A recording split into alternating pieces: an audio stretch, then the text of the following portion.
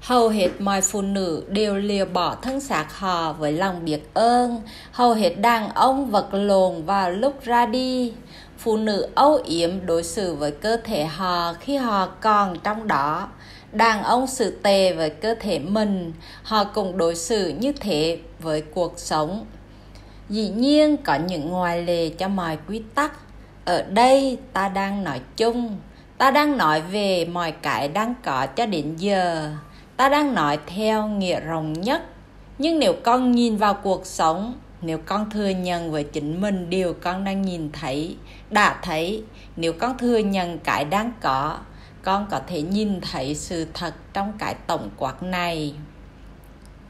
Nhưng điều đó làm con cảm thấy buồn. Điều đó làm cho con cảm thấy như thể phụ nữ là những hữu thể cao cấp, rằng họ có nhiều cái đúng hơn đàn ông một phần của nhịp điệu mỹ lệ của cuộc sống chính là âm dương. Một khía cạnh của hữu thể không phải là hoàn hảo hơn hay tốt hơn cái kia. Cả hai khía cạnh chỉ là và thật kỳ diệu là thế thôi, khía cạnh. Rõ ràng đàn ông là hiền thân, những phản ảnh khác của thần tính. Điều mà phụ nữ chống mắt lên ghen tị nhưng đã nói rằng, làm đàn ông là nền tảng thử thách, là kỳ thử luyện của con. Khi con đã làm đàn ông đủ lâu, khi con đã chịu đủ đau khổ qua sự ngu ngốc của chính con, khi con đã gây ra đủ đau thương qua những tai họa của sáng tạo của con, khi con đã làm tổn thương người khác đủ để dừng lại những hành vi của mình, để thay thế gây hận bằng lý trí khinh bỉ bằng cảm thông, luôn luôn thẳng bằng không có ai thua. Khi ấy, con có thể trở nên một phụ nữ. Khi con đã học được rằng sức mạnh không phải là lẽ phải, rằng sức mạnh không phải là có quyền trên, nhưng là có quyền với. Rằng quyền lực tuyệt đối thì tuyệt đối không đòi hỏi người khác cái gì cả khi con hiểu được những điều này. Khi ấy, con đáng được mặc lấy thân thể của phụ nữ, vì cuối cùng rồi con cũng sẽ hiểu được yếu tính của nàng. Vậy là phụ nữ thì tốt hơn đàn ông rồi. Không không có tốt hơn, chỉ khác thôi. Chính con mới đánh giá như vậy. Không có cái gì là tốt hơn hay tệ hơn trong thực tài khách quan. Chỉ có cái là và cái con muốn là nóng không tốt hơn lạnh, lên không tốt hơn xuống. Điểm này ta đã nói trước đây rồi, vì thế nữ không tốt hơn nam. Nó chỉ là cái nó là, cũng như con là cái con là. Nhưng không ai trong con bị giới hạn hay gò bỏ hơn. Con có thể là cái con muốn là chọn cái con muốn trải nghiệm trong kiếp sống này hoặc đời sau hoặc sau nữa, như con đã làm trong kiếp trước. Mỗi người trong con đều luôn được chọn lựa, mỗi người trong con được làm thành bởi tất cả nó. Có đàn ông và đàn bà trong mỗi con. Hãy biểu lộ và trải nghiệm khía cạnh nào của con mà con thích biểu lộ và trải nghiệm nhưng hãy biết rằng nó luôn mở ngỏ cho mỗi người con. Con không muốn lại sang các chủ đề khác. Con muốn ở lại với chủ đề nam nữ này thêm một lát nữa. Ngài đã hứa ở cuối cuốn trước là sẽ bàn chi tiết hơn về toàn thể khía cạnh tình dục của cặp nhị nguyên này. Đúng rồi, ta nghĩ bây giờ là lúc ta và con chúng ta nói về tình dục. Chương 7 Tại sao Ngài lại tạo ra hai giới tính? Có phải đây là cách duy nhất Ngài có thể hình dung ra để chúng con tại tạo? Chúng con nên xử sự làm sao với cái kinh nghiệm khó tin được gọi là tình dục? Không xấu hổ, đó là điều chắc chắn rồi và không mặc cảm tội lỗi, không sợ hãi. Vì xấu hổ không phải là một nhân đức và mặc cảm tội lỗi không phải là sự thiền còn sợ hãi không phải là danh dự, và cũng không phải với sự thèm thuồng, vì thèm thuồng không phải là đam mê, không phải với sự ruồng bỏ, vì ruồng bỏ không phải là tự do, không phải với sự gây hấn, vì gây hấn không phải là sốt sắng. Và hiển nhiên, không phải với những ý tưởng mong kiểm soát hay quyền lực thống trị vì những cái ấy không có liên hệ gì với tình yêu cả. Nhưng tình dục có thể được sử dụng cho những mục đích chỉ nhằm hài lòng bản thân hay không? Câu trả lời sẽ làm con ngạc nhiên là có thể. Vì vừa là, vì làm vừa lòng bản thân chỉ là một từ ngữ khác của tình yêu với bản thân mình sự làm hài lòng bản thân đã mang tiếng xấu qua nhiều năm tháng. Lý do chính của điều này là vì rất nhiều mặc cảm tội lỗi bị gán cho tình dục. Con được dạy rằng con không được sử dụng để làm hài lòng bản thân mình, một thứ gì đó cực kỳ làm bản thân hài lòng. Mâu thuẫn hiển nhiên này lồ lồ trước mắt con, nhưng con không biết đi đâu với cái kết luận thế nên con quyết định rằng nếu con cảm thấy tội lỗi về chuyện con cảm thấy tuyệt quá trong và sau khi làm tình, điều đó ít ra cũng làm cho nó ổn. Chuyện đó cũng giống như một ca sĩ nổi tiếng mà con đều biết mà ta không nêu tên ở đây, một người đã nhận hàng triệu đô la cho việc hát các bài hát của cô. Khi được yêu cầu nhận xét về thành công khó ngờ của cô và sự giàu có nó đã mang lại cho cô cô nói, con cảm thấy gần như có tội vì con thích làm điều ấy lắm. Hàm ý thì rõ rồi. Nếu đó là một điều mà con thích làm, thì con không nên được thưởng thêm bằng tiền nữa hầu hết mọi người lãnh tiền bằng việc làm điều mình, điều gì đó mà họ ghét, hoặc điều gì đó ít ra phải nặng nhọc, không phải là niềm vui bất tận. Cho nên, thông điệp của thế giới là, nếu con cảm thấy tiêu cực về nó, thế thì con có thể thưởng thức nó. Cảm giác tội lỗi thường được con sử dụng khi con muốn cảm thấy tồi tệ về điều gì đó mà con cảm thấy tốt về nó. Và nhờ đó, hòa giải bản thân con với thiên chúa, đấng mà con nghĩ là sẽ không muốn con cảm thấy tốt về bất cứ điều gì. Đặc biệt con cảm thấy, đặc biệt con không cảm thấy tốt về niềm vui của cơ thể và tuyệt đối không về sex. Này, tin vui là thích tình dục hoàn toàn là điều phải lẽ hoàn toàn phải lẽ khi yêu chính bản thân con. Thực ra, đó là điều bắt buộc. Điều không giúp cho con là trở nên nghiền tình dục hoặc bất cứ cái gì khác. Nhưng yêu thích nó thì rất được. Hãy tập nói 10 lần mỗi ngày câu này, con thích tình dục. Hãy tập nói 10 lần câu này, con thích tiền. Bây giờ con có muốn một điều thật sốc không? Thử nói câu này 10 lần xem con yêu con.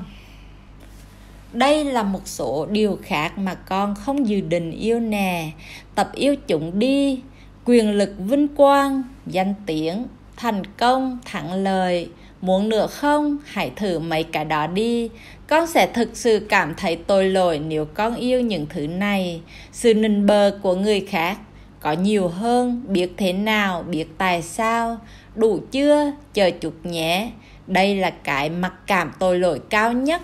Con sẽ cảm thấy cực kỳ tội lỗi nếu con cảm thấy rằng con biết thiên chúa thú vị không? Suốt cả đời con con đã làm, suốt đời con con đã được làm cho cảm thấy tội lỗi về những điều mà con muốn nhất. Nhưng ta bảo con điều này, yêu đi yêu đi, yêu những điều con ước ao vì tình yêu của con với chúng sẽ lôi kéo chúng đến với con. Những điều ấy là những thứ của cuộc sống. Khi con yêu chúng, con yêu cuộc sống. Khi con tuyên bố rằng con ước muốn chúng, con tuyên bố rằng con chọn mọi điều tốt mà cuộc sống mang lại. Vậy hãy chọn tình dục. Tất cả tình dục con có thể có được.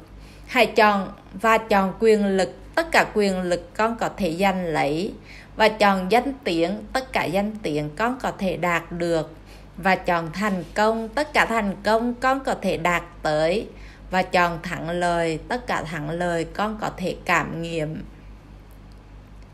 Nhưng đừng chọn tình dục thay cho tình yêu, nhưng như là một cách cử hành nó. Và đừng chọn quyền lực trên, nhưng là quyền lực với đừng tròn danh tiện như chỉnh mục đích, nhưng như một công cụ để qua đó trời giúp những người khác. Và đừng tròn chuyện thẳng với mọi giá những chuyện thẳng mà không buộc người khác trả giá bất cứ điều gì, và thậm chí còn mang lại nhiều điều thêm cho họ nữa. Hãy tiến tới và chọn lấy sự nịnh bờ của người khác nhưng hãy nhìn mọi người khác như những người mà con có thể chán tới sự nịnh bờ và làm đi. Hãy đi mà chọn trở nên tốt hơn, nhưng không tốt hơn những người khác. Thay vào đó, hãy tốt hơn chính con trước kia. Hãy đi mà chọn có nhiều nữa nhưng chỉ làm thế nhờ đó con có thêm để cho. Và được đấy, hãy chọn biết thế nào và biết tại sao để con có thể chia sẻ mọi trí thức với người khác. Và bằng mọi cách, hãy chọn biết thiên chúa. Thực ra, hãy chọn điều này trước hết và chọn, và mọi sự khác sẽ đi theo sau. Cả cuộc đời con đã được dạy rằng, cho thì tốt hơn là nhận, nhưng con không thể cho, cái con không có đó là lý do tại sao việc từ thỏa mãn lại quan trọng dường ấy. Và tại sao thật không may khi nó lại hóa ra xấu xí lâu nay như vậy? Rõ ràng việc từ thỏa mãn là bất lợi cho người khác thì không phải điều chúng ta đang nói ở đây. Đây không phải là việc làm ngơ trước nhu cầu của người khác, nhưng sự sống cũng không phải là làm ngơ nhu cầu của chính con hãy cho con khoái lạc tràn đầy và con sẽ có tràn đầy khoái lạc để cho người khác. Các bậc thầy về tình dục tantric biết điều này, vì thế họ khuyến khích thủ dâm. Điều mà nhiều người trong con thực sự coi là một tội. Thủ dâm à ôi là chúa, ngài thực sự đã kéo giảm giới hạn tới mức này. Làm sao ngài có thể đưa ra một vấn đề như thế? Làm sao thậm chí có thể nói đến nó? Trong một thông điệp được cho là đến từ thiên chúa. Ta thấy rồi, con có một phản quyết về sự thủ dâm. Ồ, không phải con, nhưng nhiều độc giả có thể lắm. Và con nghĩ ngài nói rằng chúng ta đang làm ra cuốn sách này cho nhiều người đọc. Đúng vậy, thế tại sao ngài lại chủ ý xúc phạm họ? Ta không chủ ý xúc phạm một ai cả. Mọi người đều tự do để mình bị xúc phạm hay không tùy họ chọn. Nhưng con thực sự nghĩ rằng chúng ta có thể nói chuyện một cách cởi mở và thẳng thắn về tình dục con người mà không làm một ai chọn để mình bị xúc phạm ư? Không, nhưng chuyện này dường như đi quá xa. Con không nghĩ rằng hầu hết mọi người đều sẵn sàng nghe thiên chúa nói về thủ dâm nếu cuốn sách này cần phải giới hạn vào những điều hầu hết mọi người sẵn sàng nghe Thiên Chúa nói về, nó sẽ là một cuốn sách rất nhỏ. Hầu hết mọi người chưa bao giờ sẵn sàng nghe điều Thiên Chúa nói. Khi Thiên chánh Hầu hết mọi người chưa bao giờ sẵn sàng nghe điều Thiên Chúa nói khi Thiên Chúa nói. Họ thường chờ tới 2.000 năm.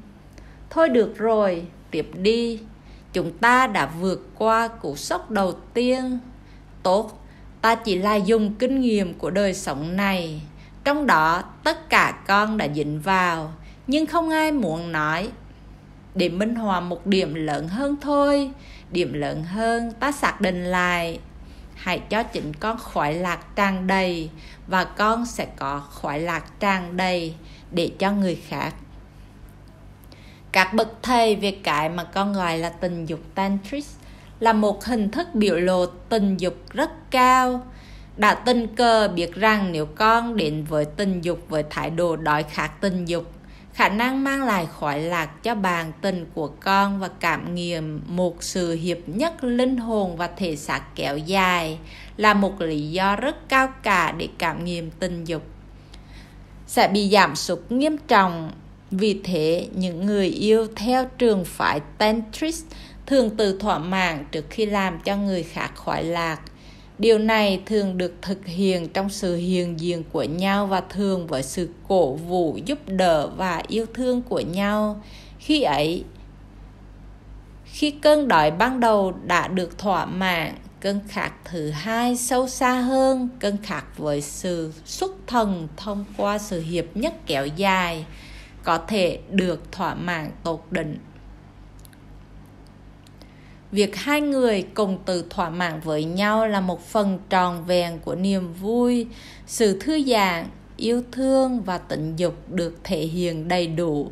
Đó là một trong nhiều phần kinh nghiệm con gọi là giao hợp có thể đến vào lúc cuối của một cuộc gặp gỡ yêu thương kéo dài hai tiếng hoặc có thể không đến với hầu hết con, đó hầu như là đỉnh điểm duy nhất của một bài tập dài 20 phút. Ấy là 20 phút nếu con may mắn. Con không có ý nghĩ rằng đây sẽ hóa ra một cuốn sổ tay hướng dẫn tình dục. Không phải, nhưng nếu phải thì cũng không tệ lắm. Hầu hết mọi người còn phải học nhiều điều về tình dục và cách diễn tả tuyệt vời nhất, hữu ích nhất của nó tuy nhiên, ta vẫn đang tìm cách để minh họa cho những điểm lớn hơn. Càng nhiều khoái lạc con đem lại cho chính mình, càng nhiều khoái lạc con có thể đem cho người khác. Tương tự, nếu con mang lại cho mình càng nhiều khoái lạc trong quyền lực, con càng có nhiều quyền lực để chia sẻ cho những người khác cũng thế, đối với tiếng tâm giàu có, vinh quang, thành công hay bất cứ điều gì khác làm cho con cảm thấy sung sướng. Và nhân tiền ta nghĩ rằng đã tới lúc chúng ta nhìn xem tại sao một điều gì đó làm cho con cảm thấy sung sướng. Ok, con chịu thua rồi, tại sao vậy? Cảm thấy sung sướng là cách linh hồn đang la lớn đây là người mà con là. Có bao giờ con đang ở trong lớp học khi có thầy giáo tham dự gọi tên và khi con được gọi, con phải trả lời dạ có em chưa? Có chứ. Được rồi, cảm giác sung sướng là cách nói của ở đây của linh hồn bây giờ nhiều người chỉ hiểu cái ý niệm làm cái gì mình cảm thấy sung sướng. Họ nói đây là con đường đưa tới hỏa ngục, nhưng ta nói đó là đường đưa tới thiên đàng đấy. Dĩ nhiên còn tùy thuộc nhiều vào điều mà con nói cảm thấy sung sướng. Nói cách khác loài kinh nghiệm nào con cảm thấy sung sướng nào? Nhưng ta nói con điều này không có loài tiến hóa nào từng xảy ra thông qua việc đào thải. Nếu con muốn tiến hóa, đó không phải vì con đã có thể thành công phủ nhận với chính mình. Những điều mà con biết là cảm thấy sung sướng. Nhưng vì con đã cho mình được những khoái lạc ấy và tìm thấy điều gì đó lớn lao hơn vì làm sao con có thể biết rằng có điều gì đó lớn hơn nếu con chưa bao giờ nếm thử cái nhỏ hơn? Tôn giáo muốn con chấp nhận lời của nó. Đó là lý do mà tôn giáo cuối cùng đều thất bại. Đằng khác, linh đào thì luôn thành công. Tôn giáo đòi con học từ kinh nghiệm của những người khác. Linh đào thúc đẩy con tìm kiếm kinh nghiệm cho chính mình tôn giáo không thể chấp nhận linh đạo, nó không thể chịu đựng nó. Vì linh đạo mang con tới một kết luận khác hơn một tôn giáo nào đó, và điều này không một tôn giáo nào có thể chịu được. Tôn giáo khuyến khích con tìm hiểu những suy nghĩ của người khác và chấp nhận đó là của mình. Linh đạo mời con vất đi những suy nghĩ của người khác và đến với tư tưởng của chính mình cảm thấy sung sướng là cách con đang nói với mình rằng tư tưởng mới nhất của con là sự thật, rằng lời nói cuối cùng của con là khôn ngoan, rằng hành động cuối cùng của con là yêu mến. Để nhận ra con đã tiến bộ được bao xa, đo lường xem con tiến hóa đến độ nào, chỉ cần nhìn xem điều con làm, cảm thấy sung sướng nhưng đừng tìm cách ép buộc sự tiến hóa của con đi xa hơn, nhanh hơn. Bằng cách phủ nhận cái con cảm thấy sung sướng hoặc bước ra xa nó. Từ phủ nhận là từ phá hoại. Nhưng cũng nên biết điều này. Từ điều đồ không phải là từ phủ nhận. Điều chỉnh hành vi của mình là một chọn lựa chủ động để làm hoặc không làm điều gì dựa trên quyết định của mình đối với người mà họ là. Nếu con tuyên bố rằng con là một người tôn trọng quyền lợi của người khác, một quyết định không ăn cắp đồ của họ, không cường hiệp hoặc tước đoạt, khó có thể là quyết định tự hủy hoại mình. Đó là tuyên bố về chính mình. Đó là lý do tại sao người ta nói rằng thước đo xem con tiến hóa tới đâu là cái làm cho mình cảm thấy sung sướng. Nếu hành động vô trách nhiệm, nếu cư xử một cách mà con biết có thể làm hại người khác hoặc gây ra khó khăn, đau đớn là điều làm con cảm thấy sung sướng. Khi ấy, con chưa tiến hóa nhiều đâu. Ở đây, ý thức là chìa khóa và nhiệm vụ của người lớn trong gia đình và cộng đồng là tạo nên và lan tỏa ý thức này nơi người trẻ điều đó tương tự như công việc các sứ giả của thiên chúa là tăng cường ý thức giữa mọi người để họ có thể hiểu rằng điều gì được làm cho hoặc làm cho ai hoặc cho tất cả, vì tất cả chúng ta là một. Khi con đến từ chúng ta, tất cả là một. Hầu như không thể nào tìm cách thấy rằng hầu như không thể nào tìm thấy rằng làm tổn thương ai đó lại cảm thấy sung sướng. Cái gọi là hành vi vô trách nhiệm biến mất. Chính trong những tham số này, hiện hữu thể tiến hóa sẽ tìm cách cảm nghiệm sự sống. Chính trong những tham số này, ta nói rằng cho phép con có tất cả mọi thứ mà sự sống đem lại, và con sẽ khám phá nó có nhiều cái để đem lại hơn là con từng tưởng tượng. Con là điều con cảm nghiệm. Con cảm nghiệm cái mà con biểu lộ. Con biểu lộ cái mà con phải biểu lộ. Con có cái mà con từ ban cho mình. Con thích điều này, nhưng chúng ta có thể quay lại câu hỏi ban đầu không? Được, ta đã tạo ra hai giới tính. Vì cùng một lý do, ta đặt âm và dương trong mọi sự, trong toàn thể vũ trụ. Chúng là thành phần của âm và dương, cái giọng đực và giọng cái này. Chúng là biểu lộ sống động nhất về âm dương trong thế giới này. Họ là âm và dương trong hình thể, một trong nhiều hình thức vật lý. Âm và dương, đây và đó, cái này và cái kia, trên và dưới nóng và lạnh, lớn và nhỏ, nhanh và chậm, phật vật chất và phản vật chất, vân vân. Tất cả chúng đều cần thiết để con cảm nghiệm cuộc sống như con biết. Làm thế nào chúng con có thể diễn tả tốt nhất cái được gọi là năng lượng tình dục này? Yêu thương, cởi mở, vui vẻ, thích thú, mạnh liệt, say mê thạnh thiền, lãng mạn, hài hước, hồn nhiên, rung động, sáng tạo, không lụng túng, gợi cảm. Và dĩ nhiên, thường xuyên.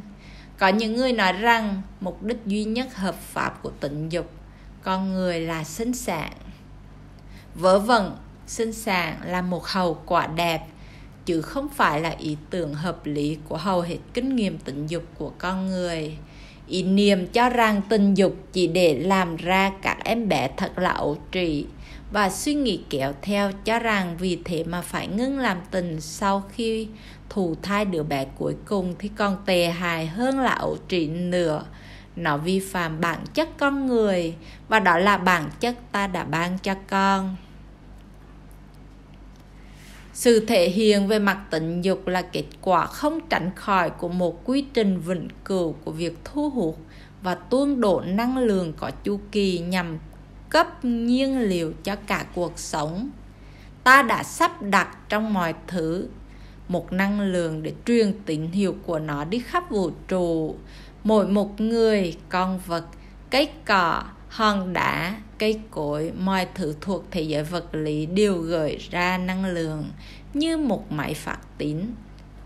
Con đang gửi đi năng lượng, phát ra năng lượng ngay bây giờ. Từ trung tâm hữu thể, con đi đủ mọi phương hướng. Năng lượng này là con đi ra ngoài giữa dàn sóng năng lượng rời khỏi con, xuyên qua các bức tường, vượt qua các dãy núi, băng qua mặt trăng và đi vào vịnh cửu. Nó không bao giờ, chưa bao giờ ngừng lại. Mọi tư tưởng con từng có đều nhuộm màu cho năng lượng này. Khi con nghĩ đến một ai, nếu con nếu con đó đủ nhạy cảm, họ có thể cảm thấy điều đó mọi lời con từng nói ra đều định hình cho nó. Mọi điều con từng làm đều ảnh hưởng đến nó. Rung động, tốc độ, bước sóng, tần số bức xạ thay đổi và thay đổi thường xuyên cùng với suy nghĩ, tâm trạng, cảm xúc, lời nói và hành động của con. Con đã nghe câu phát ra rung động tốt và câu ấy rất đúng, rất chính xác đấy bây giờ mọi người khác đều đang làm thế một cách tự nhiên và thân không cũng thế. Khoảng không giữa con đều tràn đầy năng lượng. Một mắt trần các rung động đang xoắn cuộn quýt lấy nhau, tạo thành một tấm thảm phức tạp hơn mọi thứ mà con có thể tưởng tượng ra. Tấm thảm này là trường năng lượng kết hợp mà con đang sống ở trong đó.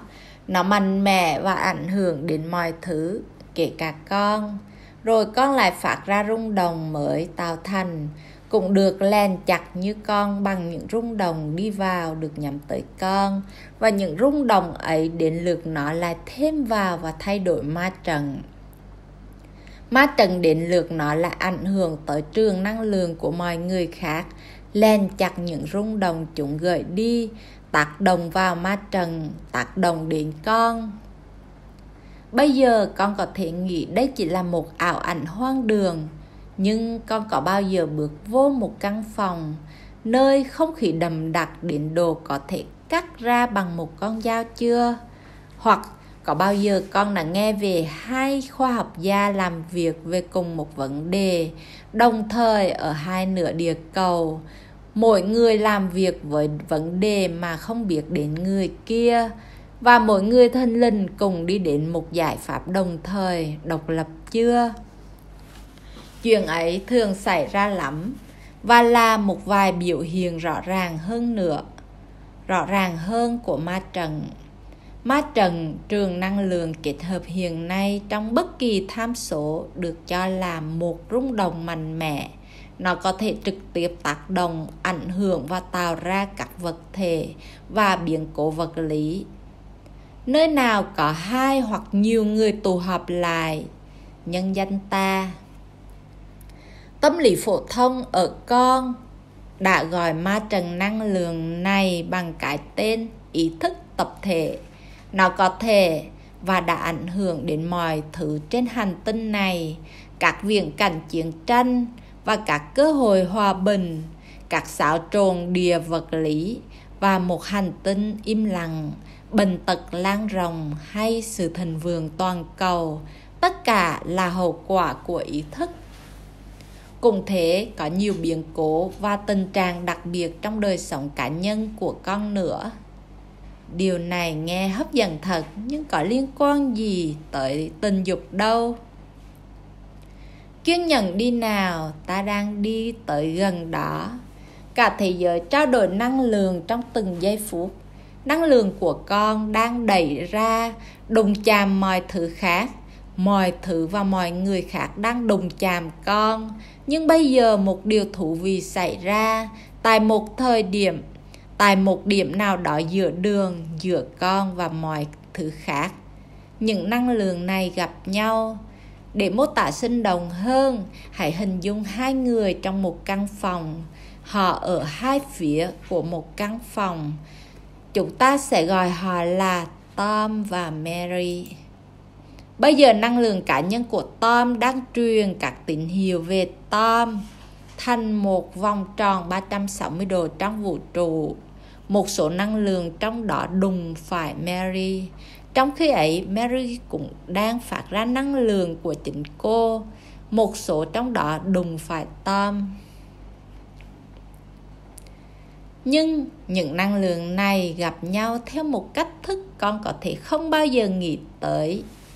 Chúng gặp nhau ở ngay giữa Tom và Mary.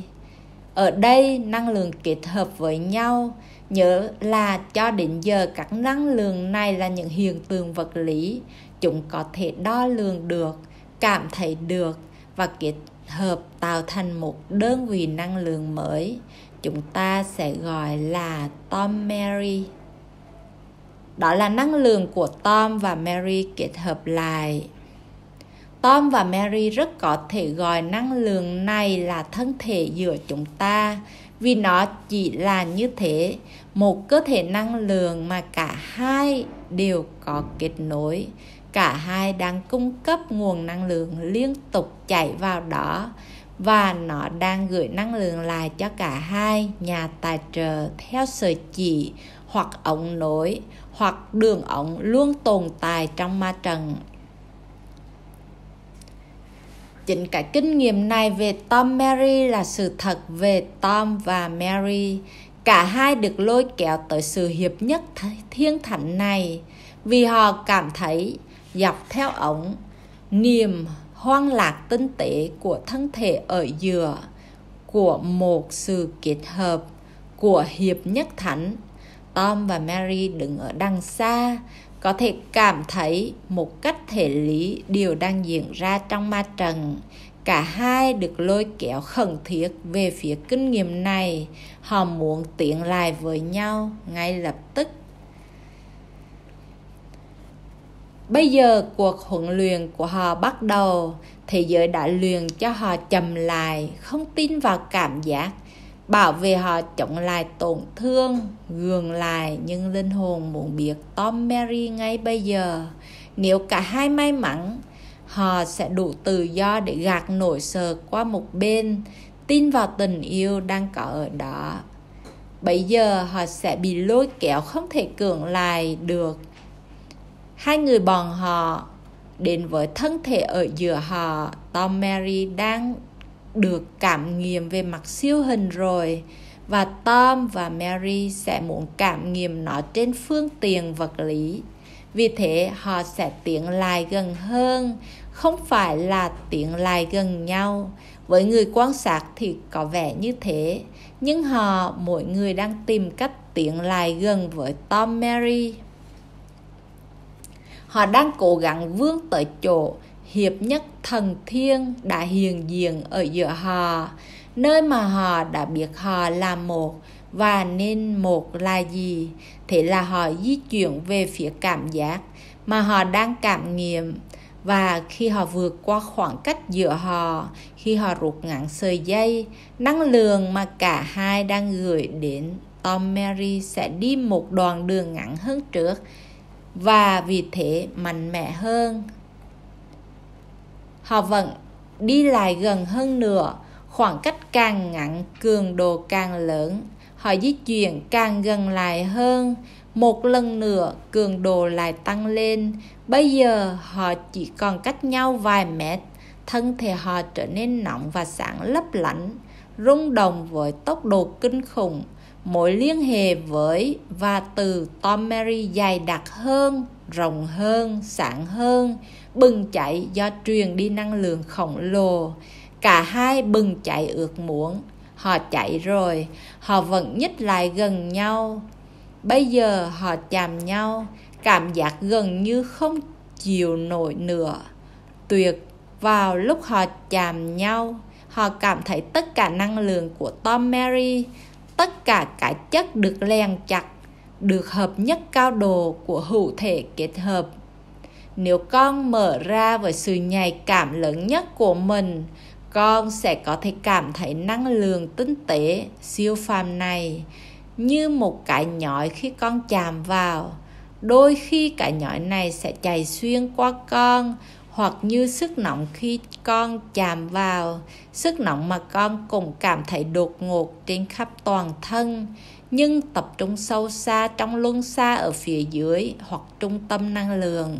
Nó sẽ đột chạy đặc biệt ở chỗ đó. Và Tom và Mary bây giờ có thể nói là cảm thấy nóng vì nhau. Bây giờ cả hai ôm nhau và họ lấp đi thêm khoảng cách giữa họ. Với Tom, Mary và Tom Mary tất cả lấp đầy hầu như cùng một không gian. Tom và Mary có thể cảm thấy Tom Mary ở giữa họ và họ còn muốn đến gần nhau hơn nữa. Hòa tan với Tom Mary theo nghĩa đen, trở nên Tom Mary về mặt thể lý ta đã tạo ra trong cơ thể người nam và người nữ một cách để làm điều đó. Tại thời điểm này, cơ thể của tom và mary sẵn sàng làm điều đó. Cơ thể tom bây giờ sẵn sàng đi vào, mary theo nghĩa đen. Cơ thể mary sẵn sàng tiếp nhận tom vào mình theo nghĩa đen. Cái ngứa ngáy, cái nóng bây giờ trở nên cao độ hơn. Nó thật khó diễn tả được. Hai thân xác kết hợp Tom Mary và Tom Mary trở nên một trong xác thịt. Năng lượng vẫn chảy giữa họ, cấp bách, nồng nàn. Họ thở hổn hển, họ chuyển động, họ không thể chiếm lấy nhau cho đủ, không thể đến gần nhau cho đủ. Họ cố gắng đến gần, gần, gần hơn nữa. Họ bùng nổ đúng nghĩa đen và cả thân xác họ co giật rung động gửi đến những rung rẩy tới đầu ngón tay họ. Trong sự bùng nổ của sự nên một, họ biết có được thiên chúa, alpha và omega, tất cả và không có gì. Yếu tính của sự sống, kinh nghiệm về cái là. Có những hóa lý nữa, hai con trở nên một và một thực thể thứ ba thường được tạo ra từ hai dưới hình thức vật lý. Như vậy một bức tranh về Tom Mary được tạo ra, thịt bởi thịt hò, máu bởi máu hò. Họ đã tạo ra sự sống theo nghĩa đen. Ta đã chẳng nói các con là các thiên chúa sao? Đó là một bản mô tả đẹp nhất về tình dục con người con đã từng nghe. Con có thấy vẻ đẹp ở nơi con muốn nhìn thấy. Con thấy cái xấu ở nơi con sợ phải nhìn thấy cái đẹp con sẽ ngạc nhiên khi biết có bao nhiêu người nhìn thấy điều ta vừa nói là xấu. Không, nó không xấu. Con đã nhìn thấy quá nhiều sợ hãi và xấu xa mà thế giới đã đặt xung quanh tình dục, nhưng ngài cũng làm sinh ra cả động câu hỏi. Ta có mặt ở đây để trả lời chúng nhưng hãy để cho ta tiếp tục câu chuyện của ta thêm một chút nữa trước khi con bắt đầu ném chúng vào ta. Vâng xin mời ngài.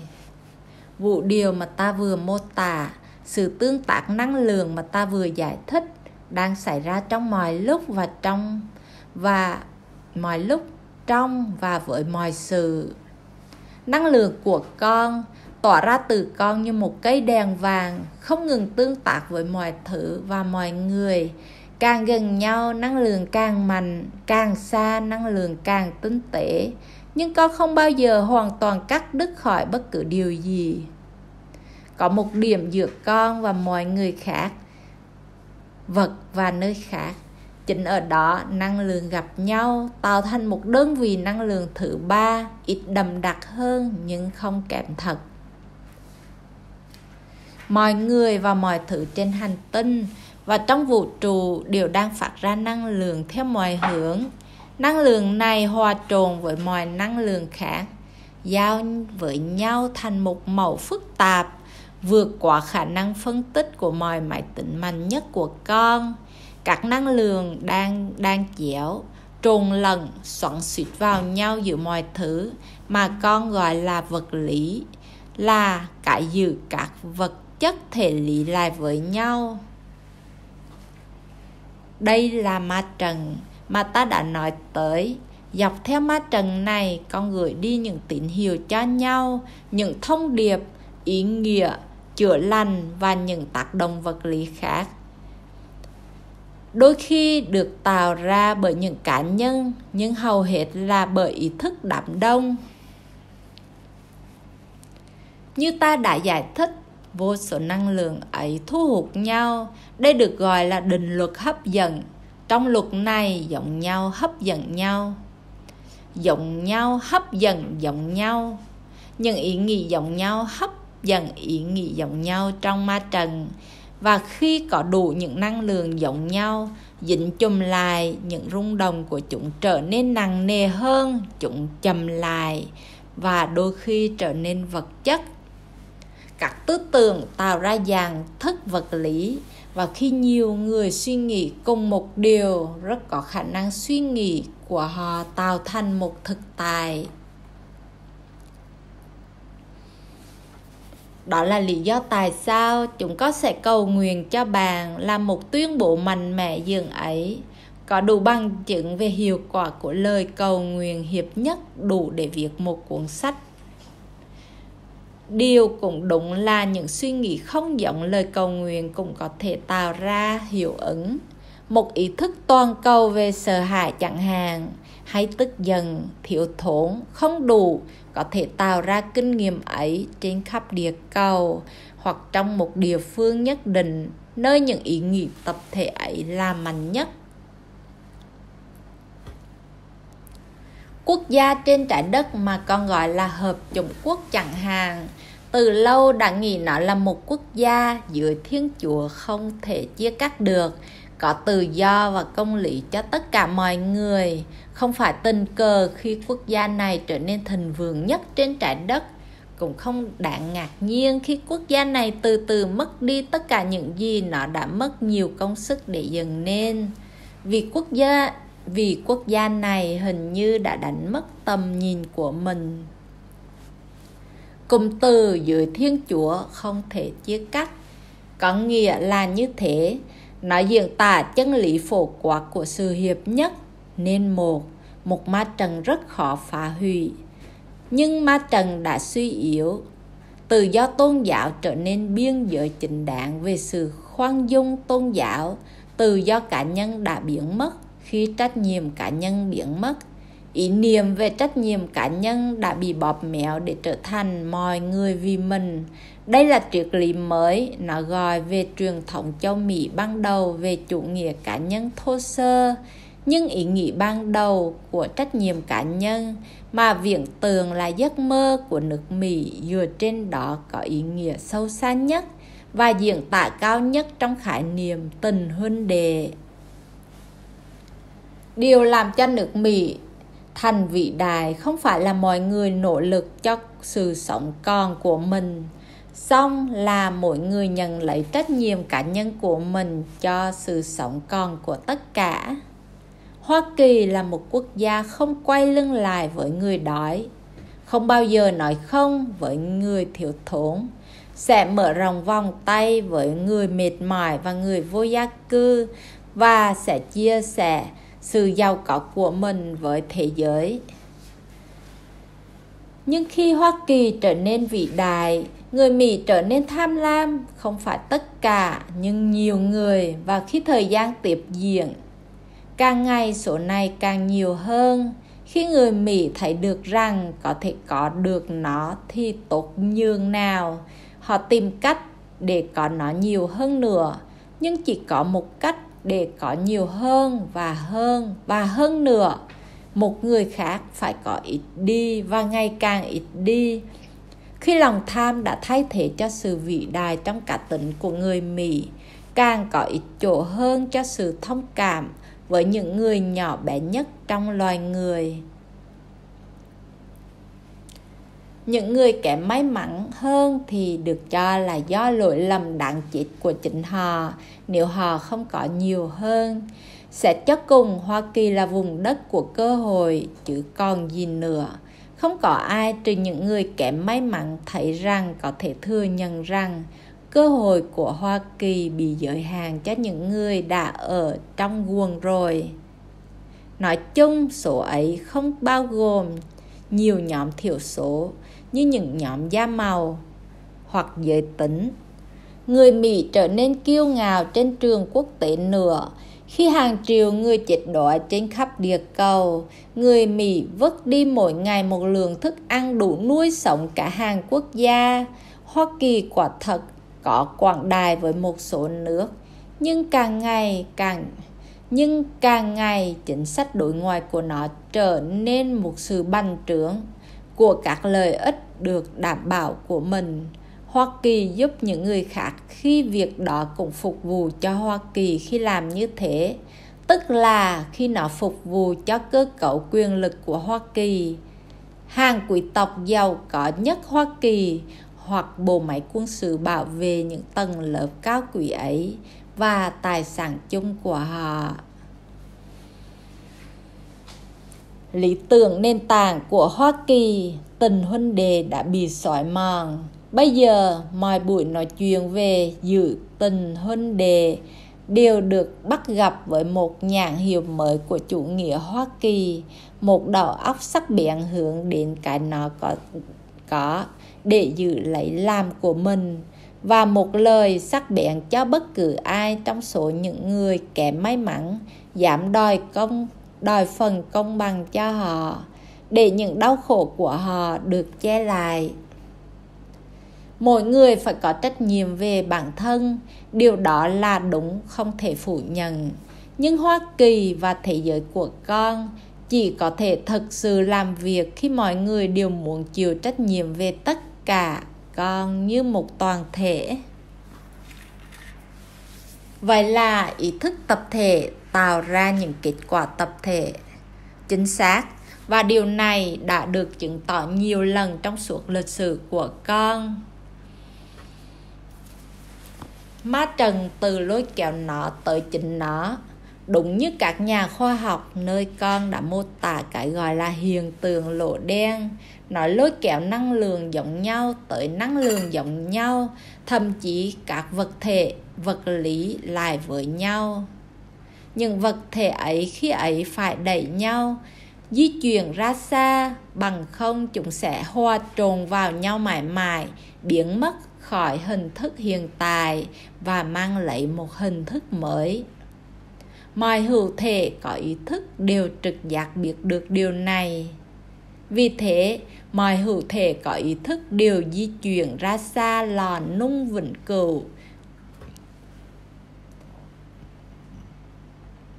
Để duy trì quan hệ của chúng với các hữu thể khác, nếu không, chúng sẽ bị hòa tan với các hữu thể khác và cảm nghiệm sự nên một mãi mãi. Đây là tình trạng mà chúng ta đã xuất phát từ đó. Khi đã ra khỏi tình trạng này, chúng ta không ngừng bị hấp dẫn lại vào đó, chuyển động lên xuống, tới và lui. Này là nhịp điều căn bản của vũ trụ và mọi thứ trong đó. Đây là tình dục, sự trao đổi năng lượng cộng hưởng con không ngừng được hấp dẫn, lôi kéo hướng về sự hợp nhất với nhau và với tất cả những gì trong ma trần thế rồi, vào giây phút hiệp nhất, được đẩy bởi chọn lừa của ý thức ra khỏi sự hiệp nhất ấy. Chọn lừa của con là được tự do đối với nó. Để con có thể cảm nghiệm điều ấy, vì một khi con trở nên thành phần sự hiệp nhất ấy. Và vẫn còn ở đó, con không thể biết được nó là hiệp nhất, vì con không còn biết đến sự tách rời nữa. Nói cách khác, để thiên chúa biết được chính nó là tất cả của nó, thiên chúa phải biết được về chính nó như không phải tất cả của nó trong con và trong mọi đơn vị năng lượng khác của vũ trụ. Thiên chúa biết chính nó như là những phần của tất cả. Và như thế cho chính nó khả năng biết được chính nó như là tất cả trong tất cả trong kinh nghiệm của chính nó. Ta chỉ có thể kinh nghiệm cái ta là bằng cách trải nghiệm điều ta không là. Nhưng ta là điều ta không là và vì thế con thấy được cái chia rẽ của thiên chúa, vì thế mới có câu, ta là điều ta là. Bây giờ như ta đã nói, hiện tượng lên xuống tự nhiên, nhịp điều tự nhiên của vũ trụ là điển hình cho tất cả sự sống, bao gồm mọi chuyển động tạo nên sự sống trong thực tại của con. Con được lôi kéo hướng về nhau, như thể bởi một lực hút mạnh nào đó chỉ để rút ra xa và tách rời. Chỉ để đẩy nhanh lại với nhau lần nữa. Một lần nữa tách rời và một lần nữa đam mê thèm muốn cấp bách tìm tới sự hợp nhất tròn vẹn. Hợp lại tách ra, hợp lại tách ra. Hợp lại tách ra, cơ thể con khiêu vũ trong một chuyển động rất cơ bản rất bản năng. Đến đồ con có rất ít ý thức để hành động, có chủ ý. Ở một điểm nào đó, con chuyển sang tự động. Không ai cần bảo cho cơ thể con biết phải làm gì. Chúng chỉ đơn giản làm điều đó với sự hối thúc của cả cuộc sống. Đây là bản thân sự sống, đang bày tỏ chính nó như là chính sự sống. Và đây chính là sự sống và đây là chính sự sống đang tạo ra sự sống mới trong lòng kinh nghiệm của chính nó. Cả sự sống làm việc trong một nhịp điều như thế, cả sự sống là nhịp điều và như thế, cả sự sống được thẩm đậm nhịp điều nhẹ nhàng của thiên chúa, điều mà con gọi là chu kỳ cuộc sống. Lương thực lớn lên theo chu kỳ, các mùa đến và đi các hành tinh xoay và xoay tròn, mặt trời bùng nổ và nổ vào trong, và bùng nổ ra ngoài lần nữa. Vũ trụ hít vào, thở ra. Tất cả xảy ra, tất cả theo chu kỳ, nhịp điều trong những rung động phù hợp với tần số của thiên chúa. Tất cả vì thiên chúa là tất cả và thiên chúa làm mọi sự và không có gì khác là cả. Và tất cả những điều đã có từ trước vô cùng, bây giờ và đời đời hằng có, là thế giới của con không có kết thúc. Amen. Chương 8 Điều thú vị khi nói chuyện với Ngài là Ngài luôn để lại cho con nhiều câu hỏi hơn là câu trả lời. Bây giờ, con có nhiều câu hỏi về chính trị cũng như về tình dục. Có người nói hai thứ ấy là một và trong chính trị tất cả những gì con làm luôn là. Khoan đã nào ngài lại sắp sửa nói tục phải không? Chà đúng vậy. Ta nghĩ rằng ta sẽ gây sốc một chút ít cho con. Khà chà chà cắt đi thôi thiên chủ không nên nói chuyện kiểu ấy thì tại sao con lại nói được? Hầu hết chúng con đều không làm thế. Con mà không làm quả gì. Những người kính sợ thiên chúa đều không nói thế. Ồ, ta hiểu rồi. Con phải sờ thiên chúa để không xúc phạm đến người. Mà ai nói rằng ta bị xúc phạm do một lời đơn giản vậy? Và cuối cùng con không thể phụ và cuối cùng, con không thấy thú vì sao? Một lời nói mà ai đó trong con sử dụng khi đang cao hứng để mô tả tình dục vĩ đại. Con cũng dùng như lời sỉ nhục nặng nhất của con. Điều đó không nói gì cho con về cách con cảm nhận về tình dục sao? Con nghĩ ngài nhầm lẫn rồi con không cho là người ta dùng những từ ấy để mô tả giây phút làm tình thực sự lãng mạn, ngất ngây đâu. Ồ, thật không? Con có bao giờ ở lại trễ trong một phòng ngủ nào chưa? Chưa, ngài thì sao? Ta ở trong mọi phòng ngủ, trong mọi lúc. Ỏi điều này sẽ làm cho chúng con cảm thấy thoải mái đây cái gì con nói rằng con làm những chuyện trong phòng ngủ mà con không muốn làm trước mặt chúa? Ai cũng không thoải mái nếu có ai đang nhìn càng ít thoải mái hơn nếu đó là chúa. Nhưng trong một số nền văn hóa sơ khai, một số người vùng polynesian làm tình được thực hiện hoàn toàn công khai. Vâng nhưng hầu hết mọi người đều chưa tiến tới mức độ tự do như vậy. Thực tế là họ sẽ coi những hành vi ấy là sự thoái hóa về một tình trạng vô đạo, sơ khai. Những người mà con gọi là dân ngoài ấy rất tôn trọng sự sống. Họ không biết đến chuyện hàm hiếp và hầu như không có giết chóc trong xã hội của họ. Xã hội con đặt tình dục một chức năng rất tự nhiên, rất con người vào giữa tấm phủ, rồi nhìn xung quanh và giật dịch những người đang ở bên ngoài. Đó là sự tục tiểu. Con đã làm cho tình dục thành dơ bẩn. Đáng hổ thẹn truyền cấm kỳ để nổi con bội rồi khi làm nó. Vô lý, hầu như ai cũng có một cảm thức chừng mực. Thậm chí họ còn nói là cảm thức bậc cao về tình dục họ xem nó là một tương tác riêng tư với một số người là một phần thánh thiêng trong quan hệ của họ. Thiếu riêng tư không đồng nghĩa với sự thiếu, không đồng nghĩa với thiếu sự thánh thiêng. Hầu hết mọi nghi thức thánh của nhân loại đều được thực hiện ở chỗ công cộng. Đừng nhầm lẫn sự riêng tư với sự thánh thiêng. Hầu hết các hành vi tồi tệ nhất của con đều diễn ra trong riêng tư và con chỉ dành hành vi tốt đẹp nhất của mình để bày ra công cộng thôi. Đây không phải là một lý lẽ biện minh cho tình dục chỗ công cộng. Nó chỉ là một lưu ý rằng sự riêng tư không nhất thiết tương đồng với sự thánh thiêng. Và sự công khai cũng không cướp đi sự thánh thiêng của con đâu. Còn về sự chừng mực nguyên cái từ ấy thôi và khái niệm hành vi đứng sau nó đã cản trở niềm vui vĩ đại nhất của người ta hơn bất kỳ một cơ cấu nào của con người. Chỉ đứng sau ý niệm cho rằng thiên chúa là đấng thích trừng phạt, ý niệm dùng để kết thúc công việc. Có vẻ như ngài không tin vào sự chừng mực cái rắc rối của chừng mực là có ai đó phải đặt ra tiêu chuẩn. Điều này lập tức có nghĩa là hành vi của con bị giới hạn. Định hướng, kiểm soát bởi ý niệm của một người khác về cái gì sẽ đem lại niềm vui cho con. Trong các vấn đề về tình dục,